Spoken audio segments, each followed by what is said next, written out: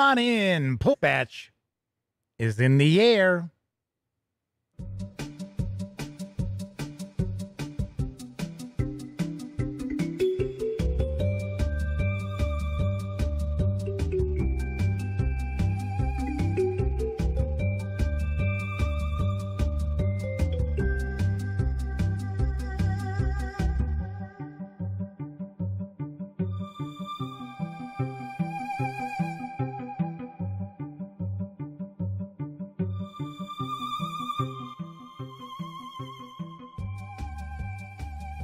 Howdy, howdy, howdy, gang. Welcome once again to the Duct Tape Studios.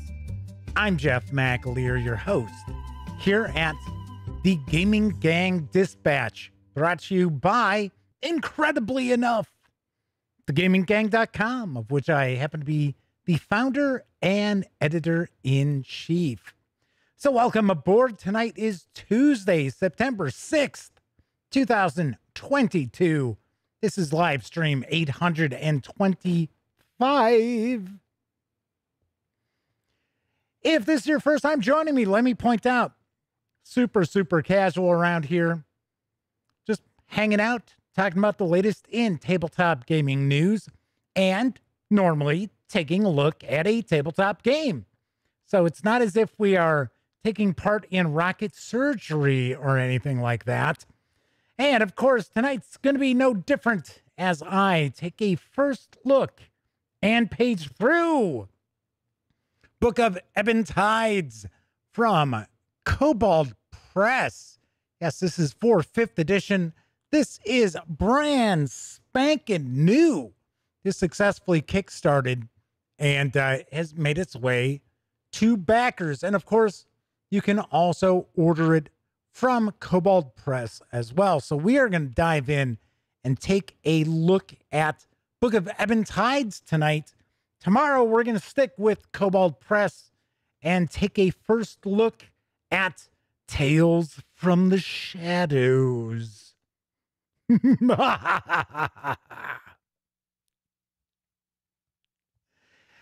Should also point out if you're not familiar with this stream, we tackled the tabletop gaming news first. So it's going to be probably about 30, 35 minutes before we jump in and start taking a look at Book of Ebon Tides. So if you're watching live, kick back, put your feet up, relax. I'm sure you probably had a long day or long holiday weekend. Maybe you need to recuperate a little bit. So take it easy on yourself. If you are watching this 30 minutes or more after the stream ends, there will be timestamps. So if you want to skip past the tabletop gaming news, you certainly can. And depending on the device you happen to be watching this with, those timestamps might be built right into the timeline of the video itself. All you got to do is touch it or click on it, and you'll be all set. Yes. Of course, when you're not watching videos on the Gaming Gang channel, be sure to visit thegaminggang.com for all latest in tabletop gaming news, reviews, and a whole lot more. You know the drill. Get your geek on at thegaminggang.com. And finally, this is a live stream. So that means there is chat available. It's not on screen. It's one of the ways that I keep some of the more unusual commenters at bay. Plus, you also have to be a subscriber to the channel and be a subscriber for at least 48 hours before you can take part in chat. Yet another way that I keep some of the more unusual commenters at bay. But if you want to say howdy, maybe you got a question, a comment, by all means, chime in. I will do my best to respond. So far, first out the gate was Mr. Eddie T. Yes, one of our chat moderators, Mr. Eddie T's with us. Testy Trekkie Connor Dunning, MC, Coco B, Jason Bratley, and Sarah D poked her head out to say hello. And Flaming Heron's with us also. So, three of our four chat moderators are hanging out right now. Nice. Nice. MC said they pre ordered Book of Ebon Tides. Can't wait to finally get a look inside. Yes, we will be doing that in just a little bit. Kathy Evans is popping into chat as well. So, chat is off and rocking already. Nice. Very, very nice. Just taking a quick peek here. So, Testy Trekkie says between me here, Ben Milton Questing Beast, and Dave Thermivore, Thormivore. I'm not familiar with Dave. It's a great day for RPG news and reviews. Cool beans. Sweet. Very, very nice. Uh oh. Jason says their uh, stream is stuttering. Let's take a look here. Okay, we look good. Now, the reason why I said let's take a peek is because the software that I use for the stream just updated today. You know how that is. Always seems to mess with stuff. But I double checked a few things, so we should be okay. Because usually what'll happen is the audio will be out of sync. That's one of the things that happens. Uh, the other thing that it likes to do is it likes to like delete the stream key for YouTube so that my stream and my chat are two separate things. So I'll be, I could be streaming and chat is there, and people are like, "Hey, where's Jeff? He must be running late today." And I'm like, "Yeah, I'm in the middle of doing doing a show." But that hasn't happened. So, you know, knock on wood. I think we should be all right. Christopher Rush has popped on in as well. They are cooking in the background. There you go. Nice. Connor says they bought a book yesterday, but only after they checked my review. Perhaps they should have reversed that order as uh, the same complaints. Oh, okay. So hey, no, I, I, I didn't emphasize correctly on that. So I guess Connor bought a book and then took a peek at my review after he placed his order. And uh, I guess it wasn't uh, it wasn't a glowing review, I guess. Jason says uh, now they're in the UK. They have great speeds, but sometimes rubbish service as far as their internet service providers. Yeah, I think that's everywhere. I think that I really do think that is everywhere. So hopefully everybody here in the US who's hanging out watching had a wonderful Labor Day weekend. Hope you enjoyed that extra day off. Hopefully, you got that extra day off. And if you're outside the US, I hope you had a wonderful weekend. Sweet.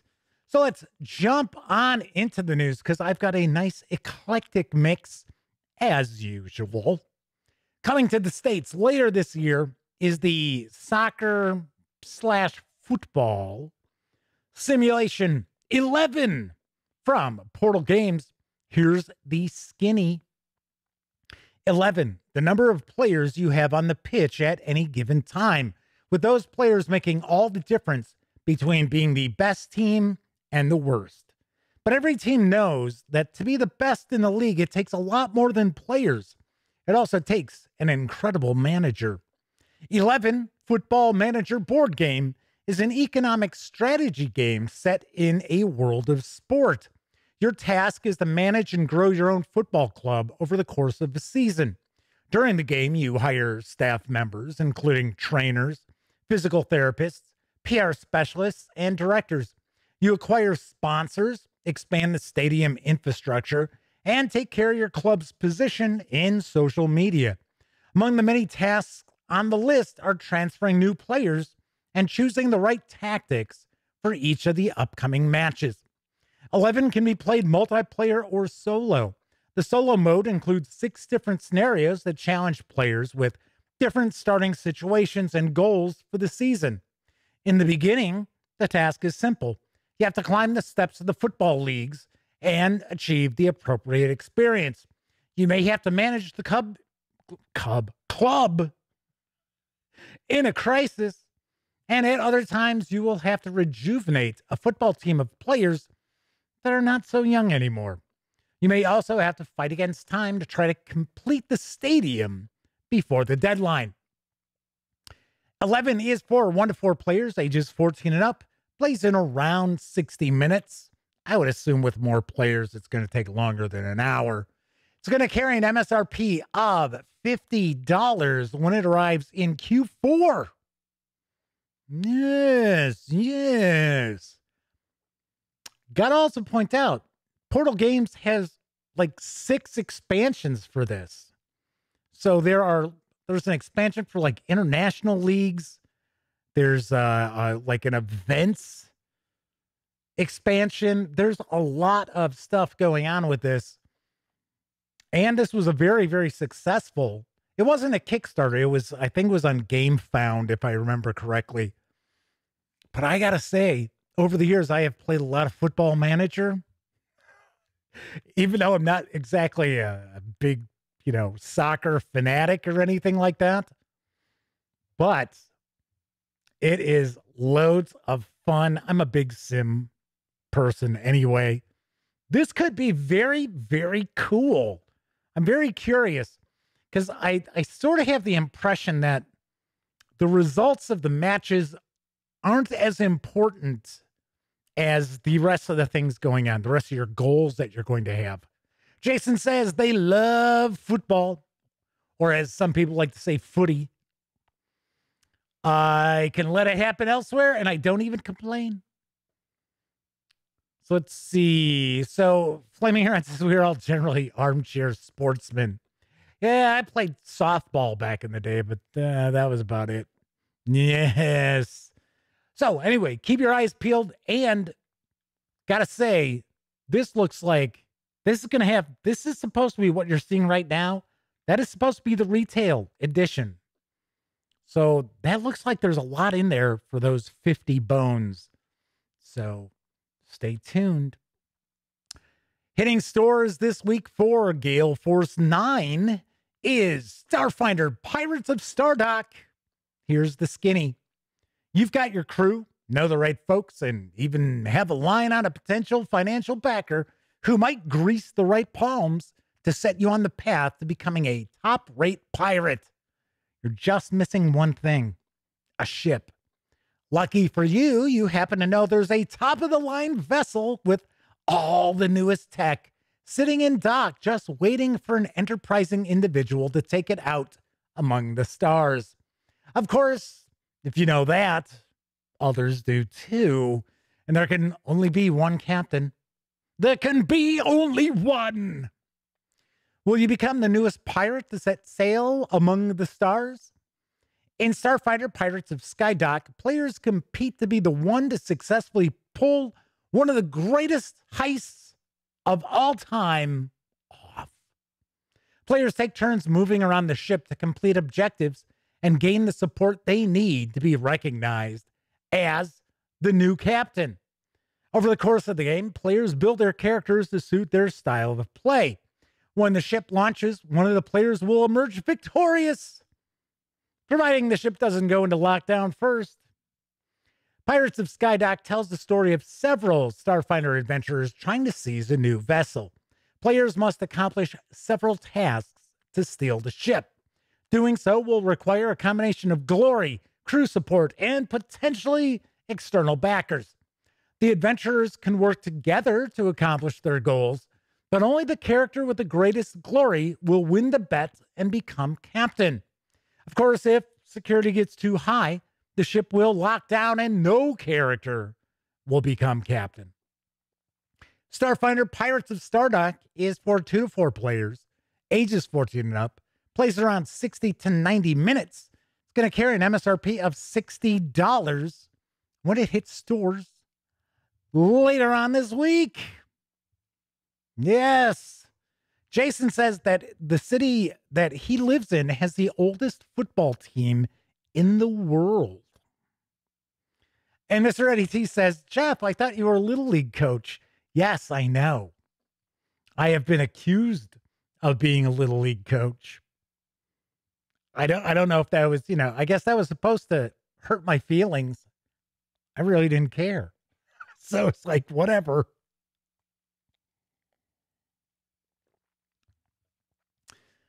So Testy Trekkie says, Space pirate alien ninjas. Yes, that is, I believe, one of the characters. On to some wargaming news. Currently up on the GMT Games P500 pre order list is Iron Storm. Here's the scoop Iron Storm is a two player strategic war game that allows you to recreate the entire First World War in a single afternoon, three to five hours. The game uses an innovative card engine system where each player uses their entire hand in one go to activate armies, resolve operations, and support battles with combat cards. It also simulates human and economic attrition during the course of the war by gradually adding cards to each deck that will have limited use in the hand and take additional effort to remove. Bit of a deck building aspect to this, I see. Iron Storm has been designed to be as simple as possible in terms of rules and has no exceptions to remember that are not indicated on the cards or the board. It is equally suitable as an introductory war game or as a tight duel for experienced players. This features an innovative card play system that keeps the game moving quickly while simulating war weariness and exhaustion through the addition of attrition cards to both players' decks. A quick and exciting battle system uses custom dice to determine the impact of artillery, with outcomes slightly unpredictable, but still deterministic enough to plan your turn around. Random events depict external political, industrial, and military factors that both players must adapt their strategy in response to. Also includes four scenarios, allowing for variable game length with even the full arc of the Great War in Europe being playable in an afternoon. Iron Storm is for one or two players. That's right. There is a solo component to this using the new GMT uh, card driven games solo module. So there is that. It's for ages 14 and up, plays in three to five hours, and can be pre ordered right now for $55 with an eventual MSRP of $79. I am very, very intrigued. I like the map. I like the board. The board looks very, very cool. And I am a big fan of card driven war games. This seems like another definite gateway game to keep your eyes peeled for because it is not just a traditional hex encounter game. And I say it all the time, and I know people get mad about it. But in order to grow the hobby of wargaming, because vast majority of wargamers are graybeards. I don't have a gray beard, but if I did, I'd be in that, you know, category gotta gotta change things up. Can't have just you know the regular old NATO iconography and attack factor, defense factor, movement factor, and a bunch of hexes. That doesn't bring people into the hobby. Things like Flashpoint, South China Sea, which I will talk about after the news because I was going to get a chance to play that this weekend. And I'll tell you what happened. And also Iron Storm. This is another gateway game that really does look very, very interesting. I am not sure if those are the final cards, though. I think those are still kind of prototype. I might be wrong, but I kind of think a little bit of a prototype there. Kevin R. Smith is with us. John Vogel has popped on in just in time for some wargaming news. John must be psychic it's like, oh, I got, I, I got to check out the stream tonight. Just as I start talking about a uh, P500 title for GMT games. Kevin says there's a small local convention run by a wargaming club. So many of them have beards as gray as mine. They all look like Gandalf. Gandalf the Gray. So, yeah, not the white. The white, he's a little too cleaned up. So. Let's talk about some role playing game news. because available right now in PDF is the latest issue of the D12 monthly magazine from Yum DM. Yum. Here's the deets. This is issue 16 of the successful zine D12 Monthly. This issue is all about weapons. A zine for fans of the longest running role playing game or any fantasy tabletop role playing game in the same vein as the role playing magazines of old. You'll find articles intended to spur on ideas for your own campaign.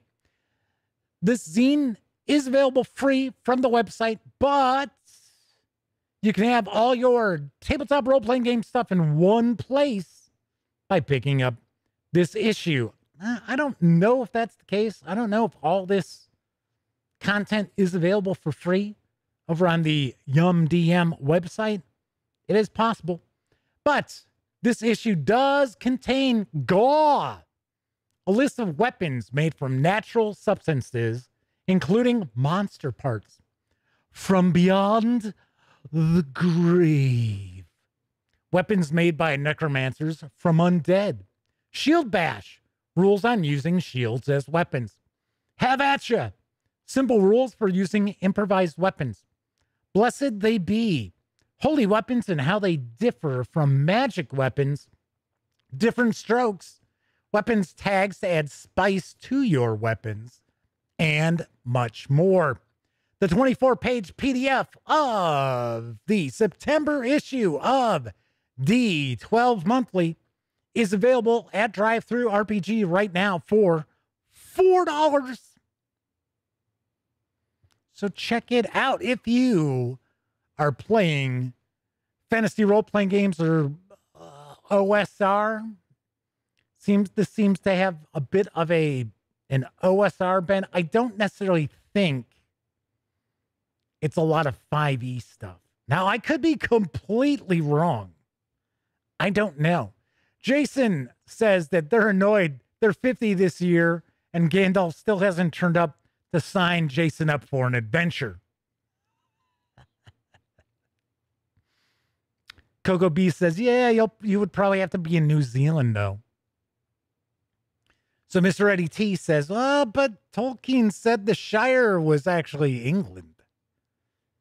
I don't know. Yeah, there's a lot of discussion about Tolkien right now. Hmm. I am not going to touch that discussion. Not at all. My final news piece: Swords of the Serpentine from Pelgrane Press is available now in print and PDF. Here's the latest a gumshoe role playing game of swords and sorcery. When it's summer, you smell her before you see her. As you come around the curve of the Serpentine River, the scent of the open sea is replaced by the stench of low tide, of boat tar, of rare spices spilled from a smuggler's ship, of cooking smoke and human waste. Bells ring out across the water and echo like the song of ghosts, loud enough to almost drown out the chanted prayers of your ship's towers. Oh, I'm sorry, ship's rowers. Towers? Where did I get that from? You're on the bend past the lower fort, and there she is, the great city of Eversink, sprawled out on scores of islands across the sheltered water. Her jeweled and crystal turrets are reflected in a shimmering bay full of hundreds of brightly colored boats. Architecture from a dozen eras tower above a tangle of grand plazas and narrow canals. Temples to her goddess rise above the mansions and tenements, calling her people to prayer. She may be ancient and corrupt, slowly and ex- exorably swallowed by an endless bog, but she's alive in a way most cities aren't. She's a melding of faith and stone and wood and water and mud that's unique in all the world. Doesn't matter whether you've come to kill a rival, earn a fortune, learn a secret, or hire an army. You're home now, and the sinking city will embrace you.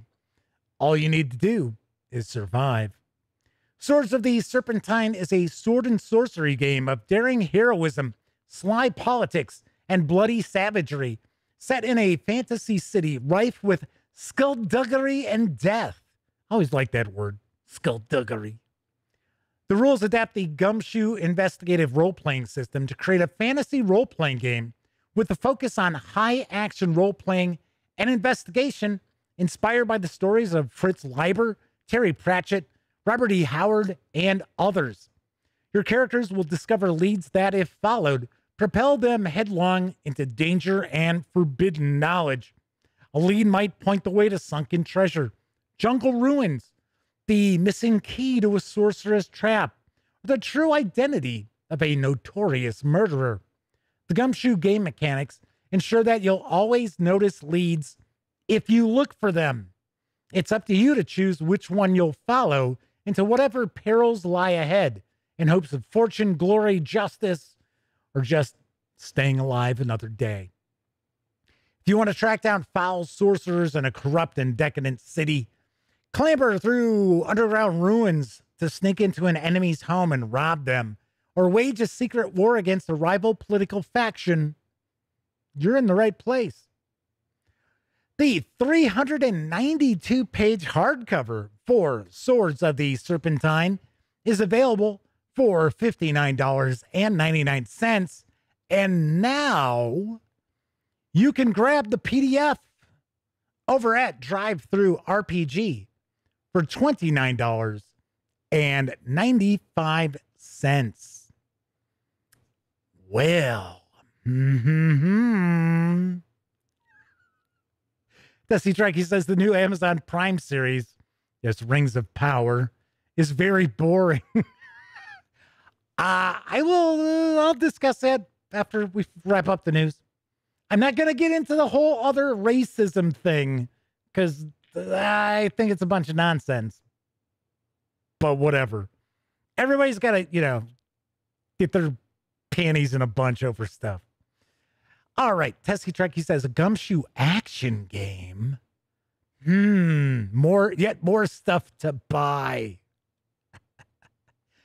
So, what I understand, and I got to be honest, I don't know a whole lot about uh, Swords of the Serpentine, but it is obviously inspired by Lankhmar and like urban Conan adventures. Probably, I would even take a stab Michael Moorcock's Elric series with like the Young Kingdoms and things like that. So my understanding is that the like the the system where you like spend points to acquire clues. It's been a long time since I I've reviewed a, a gumshoe title, but I guess that's been tweaked more towards like the action. So you can actually spend points to do really cool things in combat or, you know, do like heroic sort of things that are out of the ordinary. So that's what I think that whole uh like usually have like a uh like a pool of points that you can utilize uh within a, a certain amount of time uh in gameplay, right? You, you might have so many per session or you might have so many per acts because Gumshoe kind of plays in acts. It's one of those sort of role playing games. But I gotta say, it, it does sound very, very interesting. It's been out for a while in print, and there are some reviews out there. And once again, we talk about reviews all the time. Mm, you never know, right? But a lot of people have been very, very impressed by it. So now that it's available in PDF, I thought I would share that with you as well because I'm a huge Fritz Leiber fan. I love me Fafhrd and the Gray Mouser. Those are my favorite fantasy stories of all time. I like Conan. I like Robert E. Howard stuff. Funny enough, I actually like the Solomon Kane stories better than I do Conan. Even though there are some real classic Conan stories, there are also some that were like written on autopilot. They're like, oh my God, this thing's the same goddamn story. It's like the last one. because I have, uh, I've, I've mentioned it before. I've got all of Robert E. Howard's like short stories and that on audiobook. So I've got the the three volumes of Conan stories, and they are actually in the order that they were released, so that they were published, not chronological order. So I've got um, Kull, I've got Solomon Kane, I've got his horror stories in a collection. I've got uh, Bran Mak which I actually have not listened to. But you know, pretty solid. I mean, there are some there are some seriously good Conan stories, but then there are also some seriously bad ones too. Coco B says they haven't watched Rings of Power yet, only the videos complaining about it. Kevin says, I kind of agree with the meme that said basically, if you watch a show with elves, dragons, or lightsabers, but can't imagine people of color in that setting, the problem is you and not the casting choice. I agree. I certainly, I definitely agree with that. Although, okay, so I'll, I'll finish. So, uh, Testy Trekkie says, if their issue with Rings of Power is they made the elves black and Asian and some of them have gay coding, I'm ignoring it. If it's that the series is boring as BS, then yeah. So Mr. Eddie T says they're not into fan fiction, so they won't be watching Rings of Power. Hadn't heard the uproar about the show, but it doesn't surprise me. MC says that they watch a lot of Tolkien lore videos, and since Rings of Power started, they've had to block so many Shudley YouTube channels complaining about woke Amazon. Only thing that I I have issues with, and it, it has nothing to do with Rings of Power. I have problems with uh it's it's film mainly. I don't really see this in TV. But where they take an established character and there's there's one case in point that just really left me scratching my head and I mean it just caused an just an uproar with fans uh, is when they take an established character and then completely do like a gender switch or a racial switch for no other reason than to be like, oh yeah, look, look, we actually have a an African American on our in our cast. And the big deal was when they made Johnny Storm African American in the last Fantastic Four movie. And it was sort of like, why? Why did why did you do that? If you wanted to do if you wanted a black character, you're doing Fantastic Four. Black Panther wasn't out yet. I don't even think Black Panther was on the horizon. Why didn't they use Black Panther? It's like his original appearance is in Fantastic Four. It's like, what the hell's wrong with you people? Jason says they really thought the recent Orville season was good. Yes. I, I haven't finished it up. Uh, Kevin says people are also complaining it's not true to the lore of the Silmarillion, though the makers of the series don't have access to the Silmarillion for adaptation because Tolkien rights are complex. Yes, that they are. And they were just purchased by someone else. I'm sure most of you out there knew that, that the uh, Tolkien rights had been sold. Yep.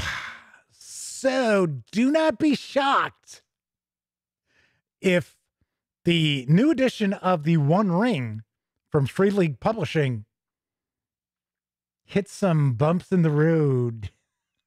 So Simeon is with us saying Lou Ferrigno should play Wonder Woman in the next movie. Next time I see Lou, because he's at every comic convention I happen to ever go to, I'll mention that to him.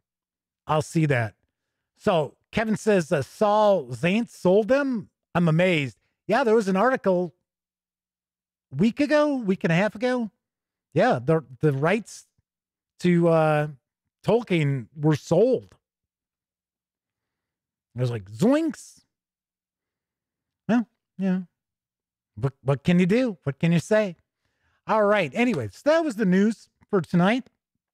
Of course, I was talking about Swords of the Serpentine from Pelgrane Press being available over at DriveThruRPG in PDF. Don't forget, the Gaming Gang, thus the Dispatch, is affiliated with the One Bookshelf sites.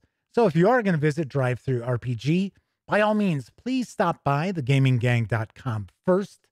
Click on one of our banner ads. That way, if you happen to make a purchase, I get a small portion of that sale. And all those nickels, dimes, and quarters really do add up and help keep thegaminggang.com around. Also, if you like this video, if you dig the channel, if you feel thegaminggang.com, the newly redesigned thegaminggang.com is a valuable resource. Hell, if you just like what I do and the rest of the team too, head on over to paypal.me slash the gaming gang and you can make a small donation. So thankfully, there are a lot of people out there who use those banner ads, and there are also others who swing on by paypal.me. And uh, really appreciate it. Thank you very much. Thank you kindly. So, uh, Kevin says uh, the sale of the Lord of the Rings rights might be a good thing. Uh, Zaentz, not sure if it's spelled correctly, is reputed to be one of the most ruthless business people in Hollywood. I mean, he did sue John Fogerty for plagiarizing himself.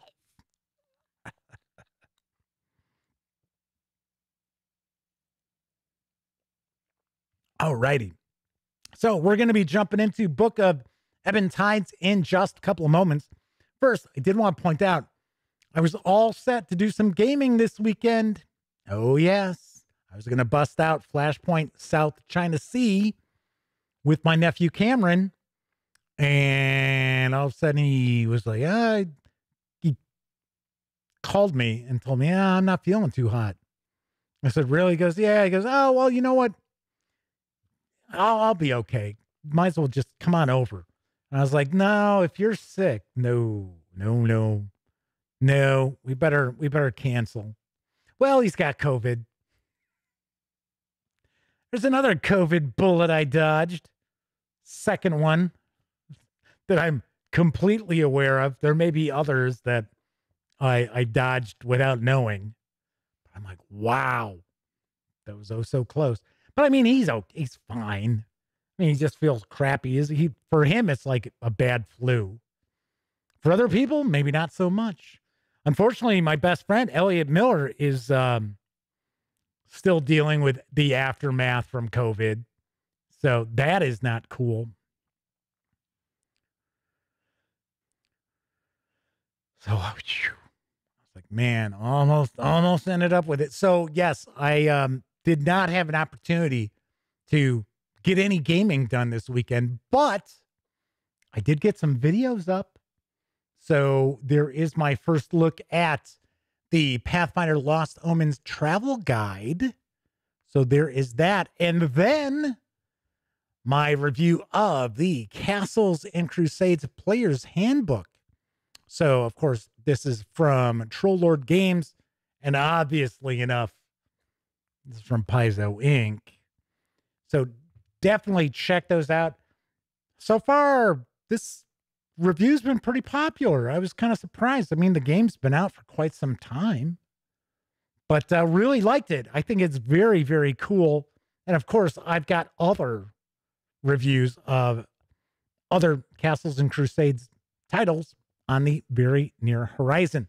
Simeon says, I hope uh, my nephew Cameron feels better soon. So do I. He'll, like I said, he, he should be fine. He should be fine. Jason says they want Muppets Lord of the Rings. Yes, Testy Trekkie said check out Land of Eem. I think that Kickstarter's over though. But yeah, that did look really interesting, didn't it? I shared a news piece about it. So, all righty then. So we're going to jump in with our first look in just a couple moments. But first, I think it's time for a brief intermission.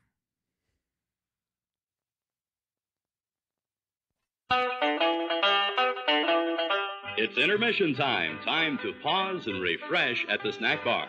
During this short break, you can treat your taste to good food and sparkling cold beverages, including delicious Coca Cola. If you're hot dog hungry, we have them sizzling, juicy hot dogs served in warm, oven fresh buns, plus a complete menu of all your favorites. Visit the Refreshment Center now. Enjoy delicious food and ice cold Coca Cola. Um, pizza! Pizza, pizza, pizza. Everybody loves pizza, and we're now featuring the famous original Tolona pizza. Only the finest and purest ingredients go into the original Tolona pizza, made fresh to your order. And into the oven it goes. Presto, a luscious, hot, crispy pizza. We're now featuring, hey, wait a minute. Give me another pizza. That's better. Now, as I was saying, we now have delicious, crispy Tolona pizza at the refreshment stand. What do you have? Cheese, sausage, or pepperoni? Take it away! Anybody who doesn't drink Wilkins coffee ought to be tarred and feathered, right? Wrong. He always was a bad sport. Hiya, Mirinda Craver. Hey, Bruno, would you give me a frosty, sparkling orange Mirinda? If you can pick up this thousand pound dumbbell. okay, but you show me how. Yeah, you put one hand here and. Uh oh. I'll hold bubbly, delicious Mirinda for you. Gee, thanks. Ooh, Mirinda orange. Good, good, good, good, good, good, good. Hey, you ain't watching. Mirinda. Good, good, good, good, good, good, good.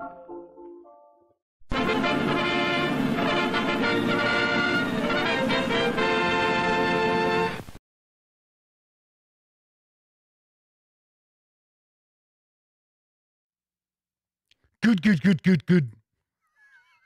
It's like so uh the new updates to the software I use for the stream.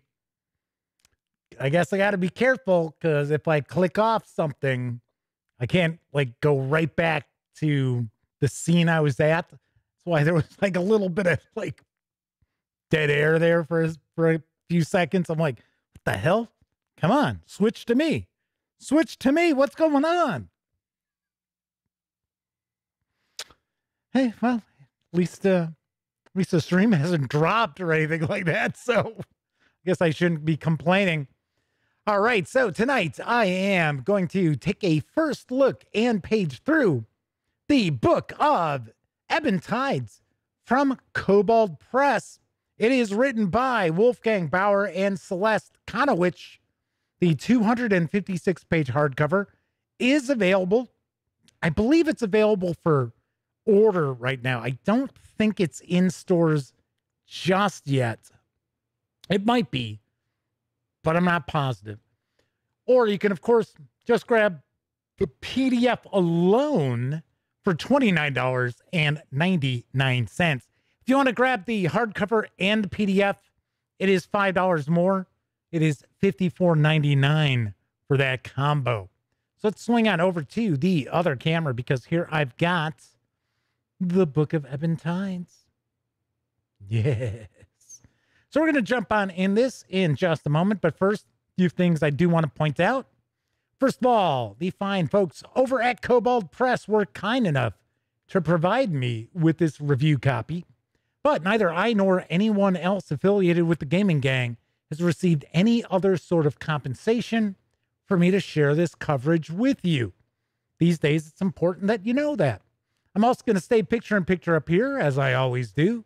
So that means I'll be cutting off a little bit of the upper left portion of the book as we page on through. We're not going to look at each and every page, but I do want to give you a good feel for what's in Book of Ebon Tides. So let's take a peek at the back as I see Kabuki Kid is here in chat with us. Double K's in the house. Jason Bradley says, never trust a blue Muppet. All righty. Step beyond the veil into the shadow realm. The plane of shadow exists between. Oh, look at that. I can't even read tonight.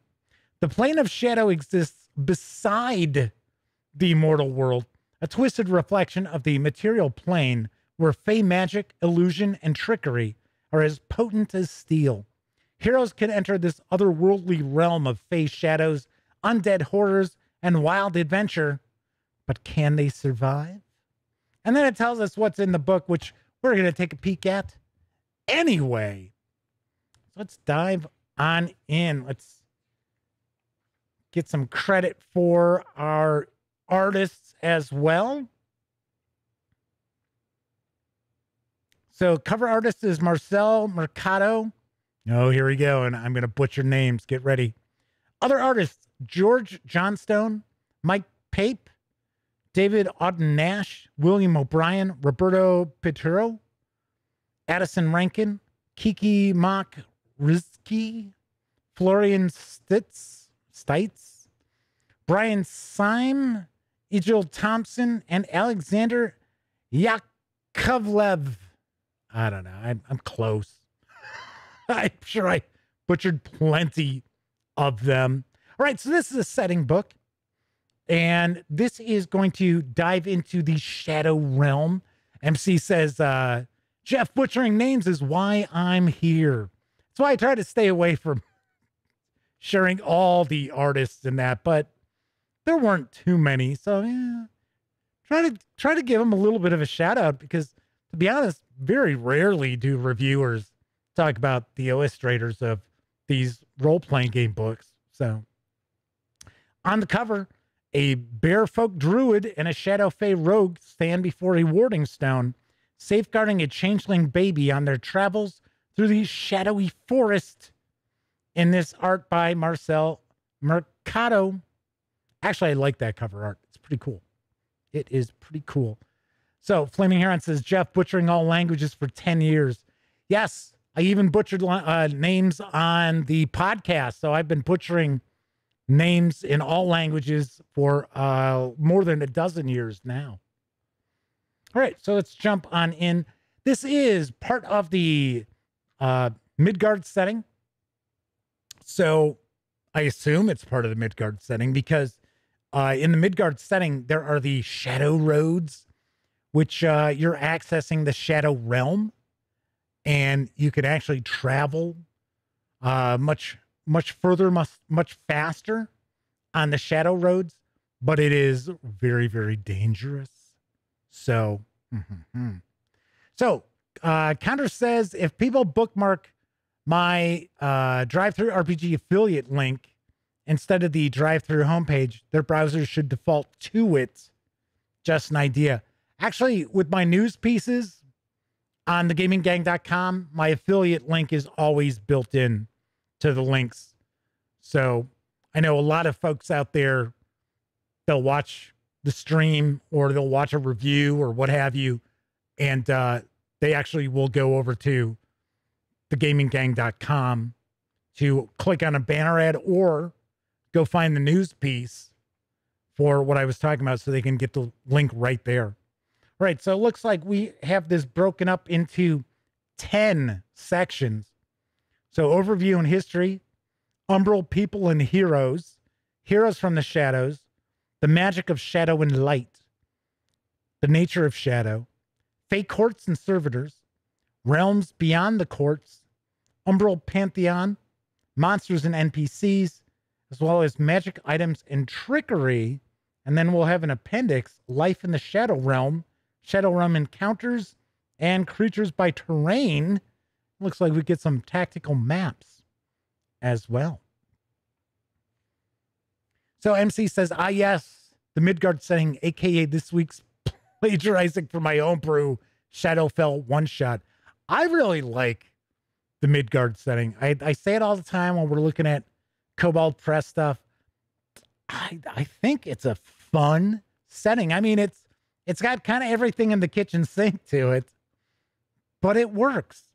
And I I think if you're looking to to run or play in a high fantasy setting that's a little darker than what you would normally run across, not grim dark, but a little darker, I think you would do quite well with Midgard. Shadow is everything and nothing. It is gloom and delight. If you try to seize it, it ripples away, laughing. So, yes, the plane of shadows is an uncertain place, which makes it a very difficult place to define and capture in maps and descriptions. in known quantities or certainties. Everyone knows that the demonic creatures of the hells are vile and secure in their malice. Likewise, the shining angels of the celestial halls are unyielding in their eternal pilgrimage for righteousness and law. These realms are well known and understood. The one is bright and the other Stygian. The creatures of shadow are far less defined and far more flexible and no less dangerous for all that. Sweet. Very nice. MC says almost like some sort of realm that that has been forgotten. I don't hate the forgotten realms. I I got to be honest, I I have a nostalgia for Greyhawk, really. All that Forgotten Realm stuff, that, that all came after I was out of D&D.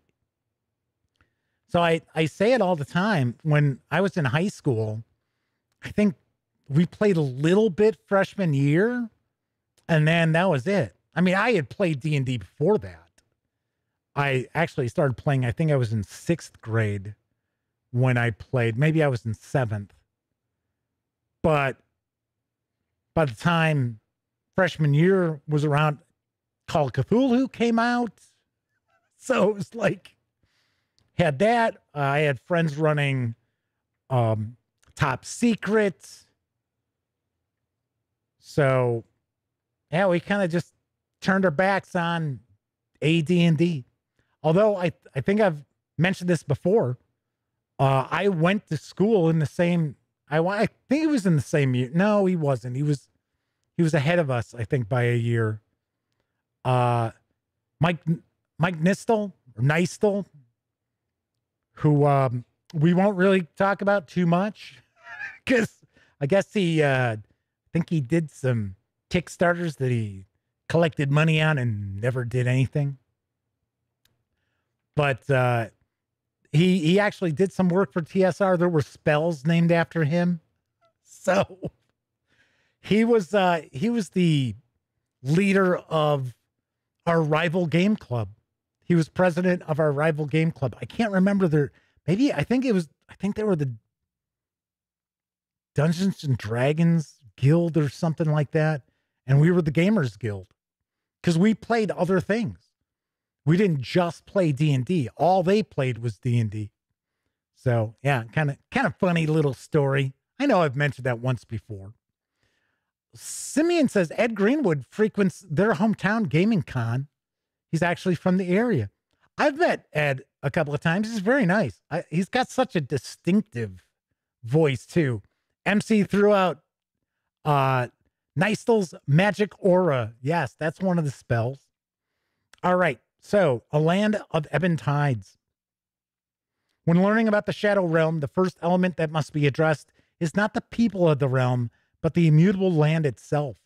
Most people of the mortal world think of the ground, the forest, and the mountains as permanent, and we think of shadows and light as transitory. And they are, usually, except when some bright, eternal fire wells up from the deep earth, or some cavern remains shrouded in darkness for eons. In the in the shadow realm, though, shadows are eternal, while land and rivers are, if not entirely transitory, notably less certain than they are in the mortal lands. Cool. And we're gonna see some cool artwork. Oh, there's one of the bear folk. Throughout, that's one of the aspects I always like with the Kobold Press releases. Artwork is always very, very solid so, more discussion about the Shadow Realm, etiquette and status in the Shadow Realm. Shadow Realm is home to many unique creatures and species, but it is arguably best known as the home of the Shadow Fae. The Shadow Fae resemble other humanoids, such as humans or elves, but their culture is quite alien to most who live in the mortal world, being full of changing and confounding rituals, edicts, and rules. All right. So it looks like there are some status rules involved with the Shadow Realm. Uh, so Kevin says, "Yep, Nystul is the only real person to have an official D and D spell named after him." I thought I thought he had a couple. I thought there were a couple. Of course, I might be completely wrong. I really didn't know him uh, outside of the fact that you know they disliked our club because they they thought we were competitors for the for gamers, and it was like I went to a high school with five thousand students. Give me a break. It's like wasn't like oh well we got a hundred kids in the school, you know. So MC says they like the concept of the Shadowfell being a dark Feywild. There's a lot of setting flavor to be mined there. So we're going to get into uh, some of the residents. So, of course, I reviewed the Empire of Ghouls adventure, which I really liked. I thought that was really well done. And there are some creatures here in the Shadow Realm that will easily fit in to uh, that, including ghouls. I think ghouls live in the Shadow Realm, or uh, I might be wrong, but I thought they do. I, I'm not, I mean, they live in our realm mainly, but I thought they were also in the Shadow Realms. So I have heroes from the shadows. So this looks like we're going to get some different archetypes, some new abilities, it looks like. I know he's got some new spells. So, yeah, so we do have some new archetypes. That's kind of cool.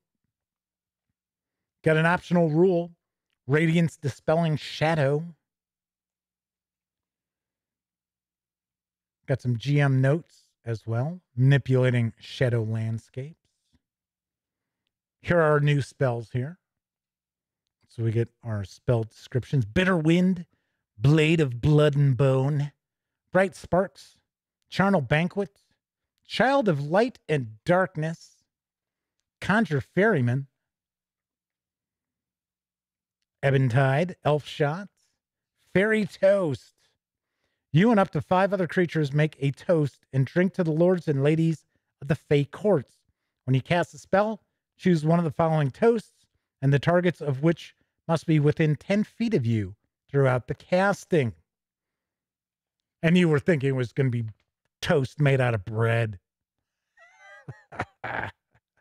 MC says, okay, purple armored polar bear is their next NPC. And MC also points out the can't can't wait to get this. So it looks like we've got a lot of new spells. Nice. Okay, then we get section five the nature of shadow. The foremost questions from many travelers to the shadow realm have to do with its shadow matter, its malleable nature, and how humans and other intelligent species survive in such a strange place. To natives, these questions are foolish, for the laws of nature may be different than they are on other planes or in the mortal realm, but the shadow realm is hospitable to those who take time to learn its ways. This chapter provides that foundation. Oh, sweet. That's, uh, I like that. That's pretty wild.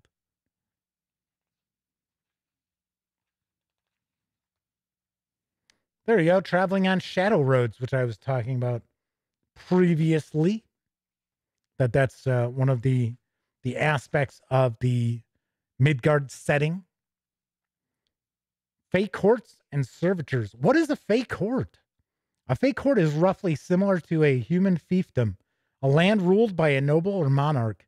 That ruler embodying its people and attracting like minded Fey to their court. A small court, for instance, might style itself the Baron's Court of Millrun and rule over a handful of villages along a stream. A large court, such as the Court of Night and Magic, might have lesser courts that pay it fealty, be ruled by a queen, and command entire cities, forests, and small armies. So there you go. So we're going to get a discussion of that. And I'm going to take a guess. We're going to get some examples of different Fey courts. Kabuki Kid says, love the Frazetta painting with the polar bears pulling a sled ridden by a huge warrior. Yes. Frazetta had some just dynamite artwork. So it looks like, yep. So it looks like we've got some info about a handful of Fey courts. So we have the Court of the Golden Oak. So we got a map of it and breakdown of various important areas. Court of the Mice and Ravens.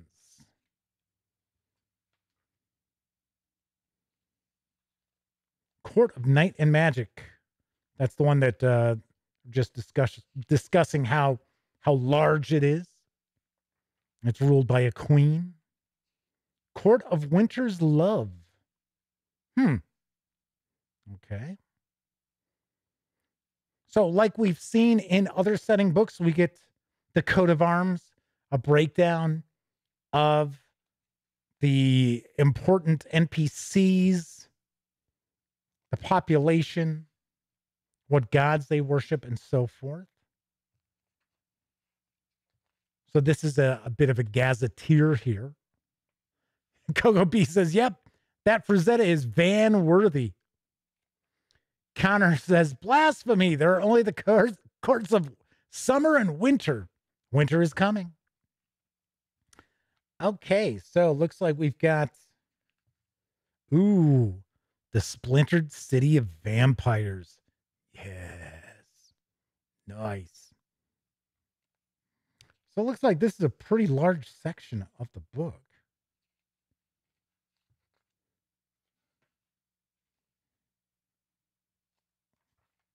All right, so then we're going to get into the. There's a section here. It's the Book of Ebon Tides. Oh no, here we go. Umbral Pantheon. So now we're going to have the various different gods and deities.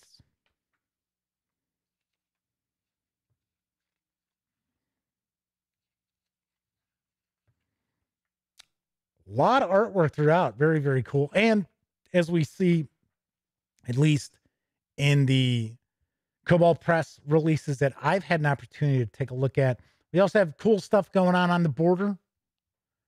So even though it is the same art repeated and it's from the cover, I think that's pretty cool. The Black Goat of the Woods. Ooh, little Lovecraftian right there. So MC says this is the Shadowfell book Wizards of the Coast refuses to give us. Yeah, a lot of people have commented on my review of Spelljammer that it's all the it's the third party companies that are really putting together the cool 5e stuff, including Kobold Press. Okay, now we've got uh, monsters and NPCs. Lesser Lunar Devil. Uma Rattenfanger, Keeper of the Plane. Hello, Uma, or Oma. River Giant. Sable Elves. So looks like we've got quite a bit here. Shadow Goblin Scribe. Shadow Spider Swarm. Cool. So now we get into our magic items and trickery. So we're going to get some magic items here. Looks like we're not going to get a bunch of artwork though with these, which is kind of a Kobold Press thing. I've noticed that in the past when we get into, I mean, it's not that they won't have any images, but I have noticed because you know, a lot of releases from publishers when they have equipment, magic items especially. They'll they'll try to have quite a bit of artwork. Not necessarily so with Kobold Press, which honestly really doesn't bother me much. It's like, you know, oh wow, those are magic boots. Hmm, I think I know what boots look like. Kabuki Kid says, I heard Witchlight was pretty good. Is it not? personally, that's my favorite. of the adventure books that have come out in about the last five years from WotC. So, so yeah, I I personally like it quite a bit. Uh, a lot of people did not dig it because uh, it was not combat heavy at all. But that was one of the things I really liked about it because almost every I mean there were some there were some encounters that you you were going to have to resort to combat. But a vast majority of the challenges facing the player characters they did not have to resort to violence, which I thought was very cool and very much in keeping with the fairy tale sort of vibe that was going on. All right, so now we're into the appendices. Cantrips of the Fae, Mounts in the Shadows, Strange Servants of the Shadows, Treasures and Trinkets of the Shadows. So we've got some of our encounters here. So encounters in the forests. We also have a challenge rating as well. Marshes and rivers, That's cool. I like that. Yeah, I'm just gonna like just run barefoot through the grass. Oh yeah, okay. So these are plains, hills, and mountain encounters. They have creatures by terrain. And it looks like some of these are here in the book, others are just traditional monster manual monsters. MC says you can actually run the entire adventure without doing any combat whatsoever with uh, Wild Beyond the Witchlight. It was designed that way. Yeah, like I said, I enjoyed it. I I personally thought that that was an adventure that shared some of the wonder that should be present in a game of Dungeons and Dragons or any fantasy role playing game, to be honest. Right. So we've got some maps here. Oh, some tactical maps. Nothing that's particular, just some various different maps there. And then Tales from the Shadows, which we're going to take a look at tomorrow. Deep Magic, Vault of Magic, and our open game license. And that is Book of Ebon Tides from Kobold Press. Of course, it is available for $49.99 in hardcover, just like this, or you can grab just the PDF alone for $29.99. Of course, I am going to be reviewing this in the near future as well. So I've got a lot of role playing game stuff on the horizon. Lots of reviews. Got a bunch of stuff that's supposed to be on it on its way to me. I'm not sure because it's a company I have not worked with before, so I don't really want to talk about it. And then be like, "Oh, hey, we're gonna get to take a look at X Y Z," and then X Y Z never shows up. so. Kabuki Kid says, sounds like you're crazy to get a digital only. All right, MC's got to run. So good to see you. Thanks for uh, swinging on in. And yes, you're very welcome for this first look and page through for Book of Ebon Tides. Tomorrow, I will also talk about the Kobold Press Kickstarter that launched today. Yes. That's right. We're looking at Book of Ebon Tides and they launched their wastes of I think it's wastes of the wastes of of the chaos or wastes of chaos. No, I think it's wastes of chaos off the top of my head. I just did a news piece for it today. Duh. It's like and uh it is uh tackling the borderlands. So yes, another setting book, an adventure book because the I and I think the adventure book is going to have 14 adventures and it is Tales from the Wastes.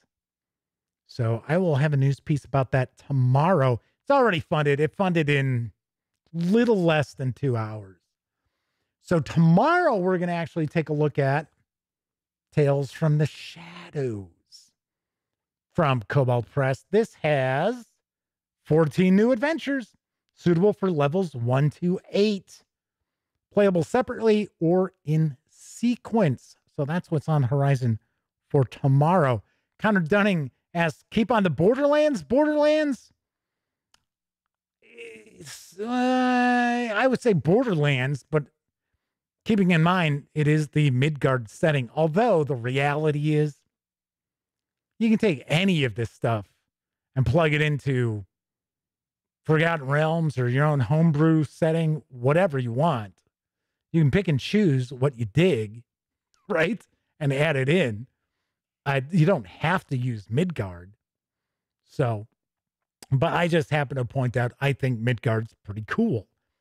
Something else I should mention is uh, you don't have to necessarily use this with Dungeons and Dragons either. Remember, I was just talking about how I reviewed the player's handbook for Castles and Crusades. There's absolutely nothing stopping you from using Castles and Crusades with the Kobold Press releases, even though the Kobold Press releases are for 5e. It's it's not that much stuff that you know you need to port over. Although you should check out the review. Uh, I talk about how easy I think Castles and Crusades is to take old modules from geez, basic, expert, AD&D, probably I would say up to third edition and port them over pretty easily to Castles and Crusades. Far easier to Castles and Crusades than it would be to 5e. At least the way I'm looking at it. But uh Connor Dunning says, "Yeah, true, true. Yeah, it's a border. It's Borderlands. We'll talk about the Kickstarter tomorrow. If you want, swing on over to thegaminggang.com and uh, you can check out the news piece that's up there already. So, uh, Flaming Heron points out one reason some people may not get the physical book is shipping cost. Yes. So Kabuki Kid says, yeah, a lot of old school stuff is easy, easy to bring to certain OSR games. And other OSR games are like night and day. I've noticed. It's it's kind of weird. But the easy thing with Castles and Crusades is your difficulty number normally for like monsters, you know, combat, things like that, are their hit dice. So that's all you're basically utilizing are their hit dice, uh, not necessarily, oh, okay, I got to figure out the, you know, armor class and everything else. So that is one of the things. I mean, armor comes into play, but it's it's pretty easy. I mean, it really is pretty easy, at least from what I have seen of Castles and Crusades. And I've read the three three core books. I uh, I've got a couple more that I need to to read through so I can get reviews out. But yeah, I was super impressed. Really liked it. All right. Anyway. See anything else going on in chat that I need to address? I don't think so. I think we're okay. I think we are up to date. If I missed saying hello to somebody who popped in, I do apologize. I always try to say howdy to everybody who takes time out to join us in chat. So, once again, on tomorrow's show, we're going to take a look at Tales from the Shadows 4 5e from Kobold Press. Remember, it's an adventure book. So if you are a player and you're hoping that your dungeon master slash game master is going to be picking up Tales from the Shadows, uh, you might want to tune out after we talk about the news tomorrow because there might be some spoilers. I'm not going to intentionally spoil anything, but you know, we're taking a look at some pages in it. So you never know. All righty. If you like this video, by all means, please give it a quick thumbs up. Subscribe to the Gaming Gang channel if you haven't. And if you do subscribe, ding that bell. It'll not only let you know when the dispatch streams live Monday, Tuesday, and Wednesday evenings at 7 o'clock Central, right here on YouTube.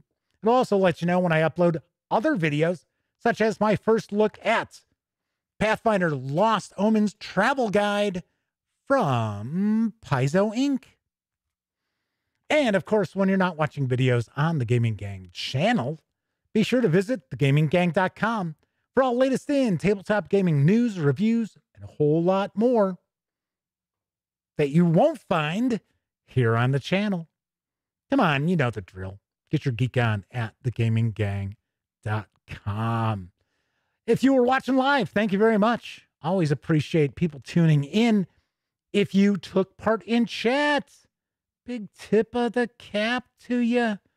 Some extra experience points as well. Pretty soon you're going to get to trade those in, level up. But of course, I know a lot of you out there don't have an opportunity to watch live. Doesn't matter if you're watching live or on Memorex. Thank you very kindly for taking time out of your busy life watch any of the videos here on the Gaming Gang channel. All right, everybody enjoy the rest of your morning, afternoon, evening, whatever time it is in your neck of the woods. I'll be back tomorrow.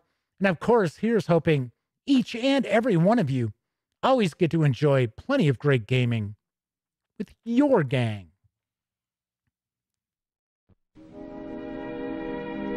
And now, folks, it's time to say goodnight. We sincerely appreciate your patronage and hope we've succeeded in bringing you an enjoyable evening of entertainment. Please drive home carefully and come back again soon. Good night.